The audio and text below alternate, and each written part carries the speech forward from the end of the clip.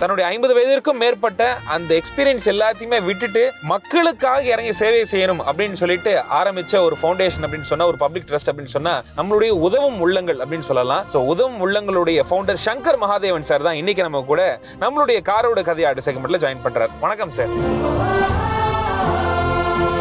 Sir இப்போ வங்கியில கிடைச்ச அந்த சந்தோஷத்தை தாண்டி உதவும் உள்ளங்கள் அப்படின்னு சொல்லிட்டு ப்ராப்பரா இதை ஆரம்பிச்ச அந்த சந்தோஷம் அந்த மொமெண்ட் ஞாபகம் இருக்கா உங்களுக்கு? ஆனந்த தீபாவளி அப்படின்னு சொல்லிட்டு கடந்த இருபத்தைந்து வருடமாக நம்ம அந்த குழந்தைகளோட ஆதரவற்ற குழந்தைகளோட கொண்டாடிட்டு இருக்கோம்.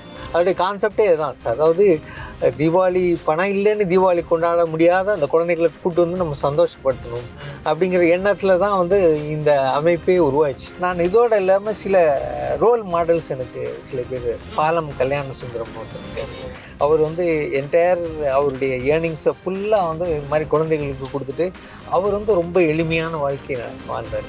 ஸோ அவர் வந்து எனக்கு ஒரு ஸ்டேஜில் அறிமுகமாச்சு ஸோ அவர்கிட்ட போய் ஒரு வருஷம் நான் ஒர்க் பண்ணேன். உதவும் உள்ளங்களுடைய அடுத்த கட்டம்னா என்னவா? அவங்களுடைய அடுத்த கட்டம் வந்து நிறைய யங்ஸ்டர்ஸ் கொண்டு வரணும் அப்படிங்கிறது தான்